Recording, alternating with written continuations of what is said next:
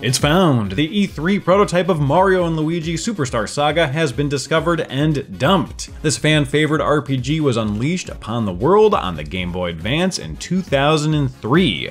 Now both versions feature the Mario Bros on an adventure to restore Princess Peach's stolen voice, but this earlier version has significant differences. We're going to get to the major ones as well as some of the oddities. But first, a big thank you to the sponsor of this video, the makers of this t-shirt right here, Into the AM.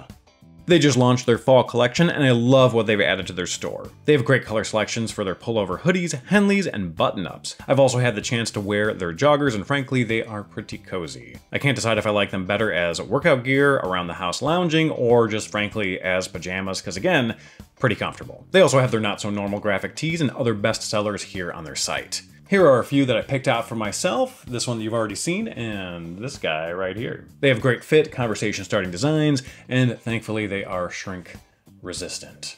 So go check out Into the AM if you want to upgrade your wardrobe and elevate your style. Click the link in my description for a 10% discount, and they also have packs if you're planning to buy a bunch and save more as it stacks with my coupon code H4G-AM.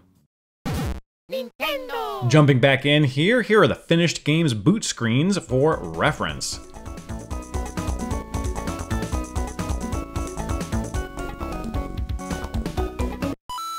And now look at the prototype.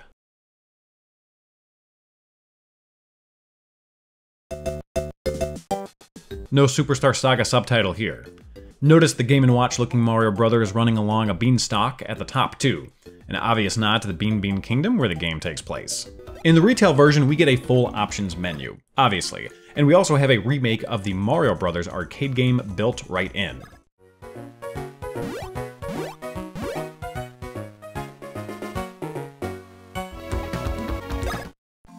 The E3 demo, on the other hand, is, well, just that, a demo. At least, on the surface anyways. We're treated to a few pre-created experiences, all taken from the first few hours of the game. We have Stardust Fields, Ufu Mountain, renamed Huhu Mountain in the final build, and Mamelian Plain, I think I'm pronouncing that right, which are the fields before Bean Bean Castletown. Now, do I stop here to talk about how the file select is totally different? No, let's just go ahead and move on. There's so much here. Now the demo stages are rearranged custom tidbits that sort of have a parallel existence to the actual game. For example, Stardust Fields. Normally, you crash land here with Bowser and almost immediately encounter the Border Bros, who make you play a mini-game to cross the Mushroom Kingdom slash Bean Bean Kingdom border. The demo is reversed and truncated. You'll actually encounter the Border Bros at the end. So you'll just start here without context and begin to explore. Take a look at this here. Here's the demo map. Here's the retail map. Now the screens that you see in the retail map are in the prototype, but just not in the preset demo experience. And they are the same, minus some aesthetic design choices. But again, for the demo, they shortened and streamlined it for the E3 player. The demo also immediately equips the Mario Brothers with techniques and items that they would either learn in the stage, like the bro moves, or the hammer, which they wouldn't acquire until a little bit later on in the game.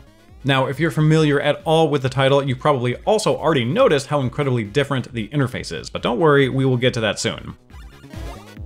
In the final retail build, there's funnier and quirkier Border Bros dialogue. They seem to remember you from a previous game and insist you perform jumps worthy of the Mario Brothers name.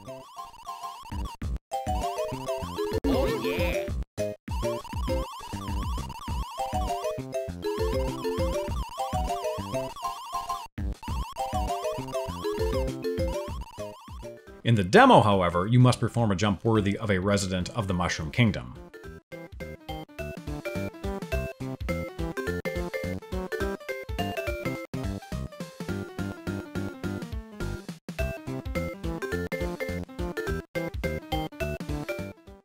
Also note the design and color changes in the room. After beating the minigame, the demo stage ends.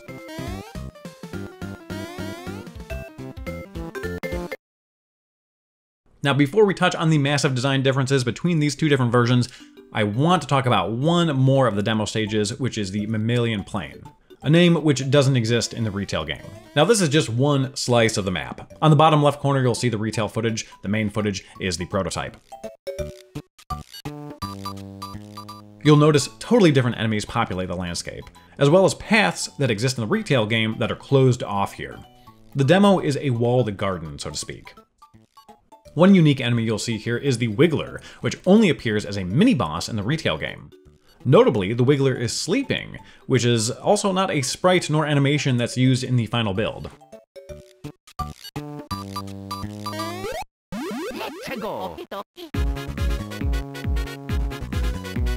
And there are other enemy differences as well, mostly design-wise. For example, this prototype Goomba has gray shoes. In the final, they're brown. But let's go ahead and move on to some juicier changes. When you enter a battle, the transition is totally different. It's always a star in the retail game, always a mosaic of mustaches in the pre-release. Notice the selection of jump and hammer are separate ring commands.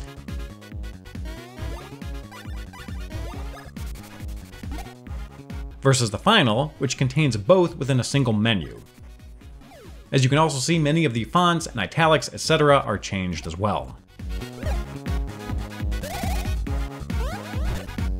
Running away from a battle is a true activity in the final build, with necessary button commands. Not the case in the pre-release. Eating a health boosting mushroom in the prototype is also a rather simple affair. You just absorb the power up like the normal games. In the retail build, you pull it out and eat it. Dying is also a lot different. In the retail game, your character stays on the battlefield, and your brother can force feed you a 1-up mushroom. In the earlier version, the KO'd character leaves the battlefield. Once receiving the 1-up, a power-up sound would play, and then they'd be elevated back down into play. The Bros moves have different icons for the A and B buttons as well, and the prototype seems to be more lenient with the timing, although that could just be me.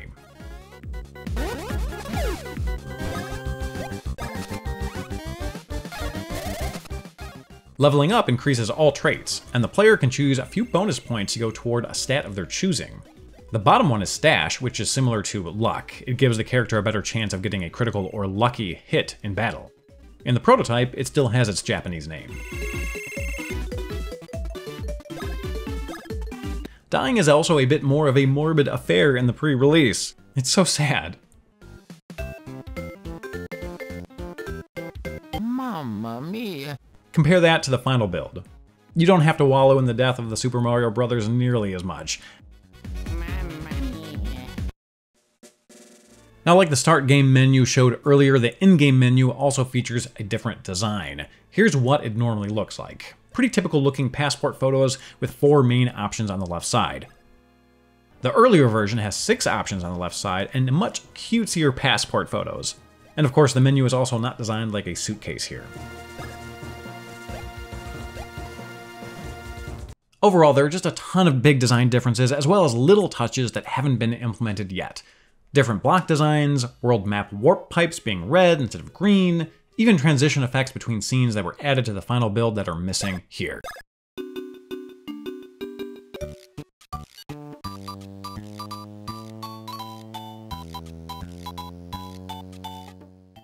Again, I could make a 30 minute video for every tiny little detail, but these things are being documented as we speak. Consider this video a crash course.